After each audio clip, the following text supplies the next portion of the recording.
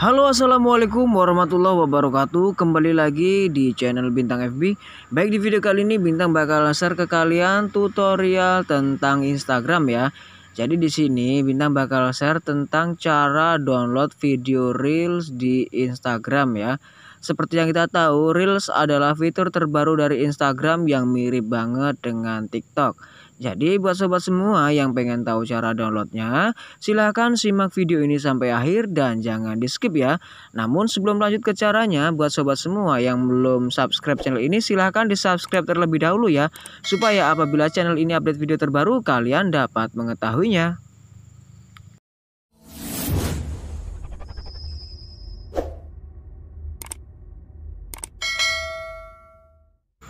Oke sebelum kita lanjut ke video tutorialnya buat sobat semua tolong jangan di skip ya tutorialnya supaya kalian tidak gagal paham dalam menerapkan tutorial cara mendownload video reels di Instagram.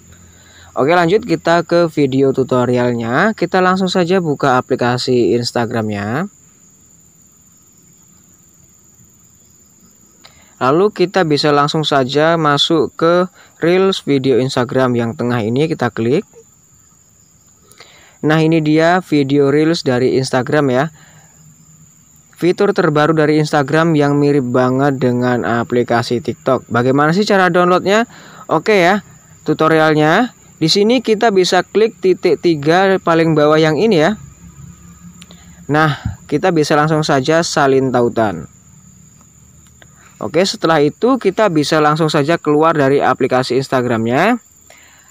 Lalu kita bisa gunakan aplikasi Chrome untuk mendownload video Reels tadi ya. Kita buka saja. Setelah itu kita bisa ketikkan di pencarian Chrome-nya download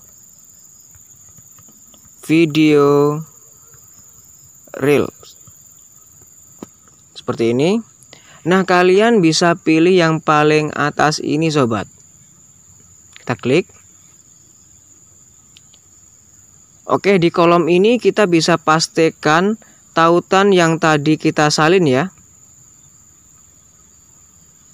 Kita tempel. Lalu klik download. Kita tunggu prosesnya. Nah, jadi ini tadi sobat video Reels yang akan kita download di aplikasi Instagram. Langsung saja klik download video.